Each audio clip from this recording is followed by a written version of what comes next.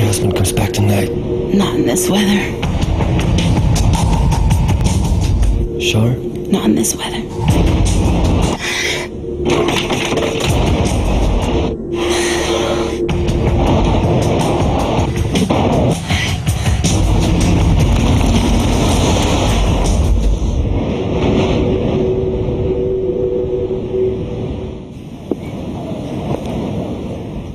Isn't your wife expecting you?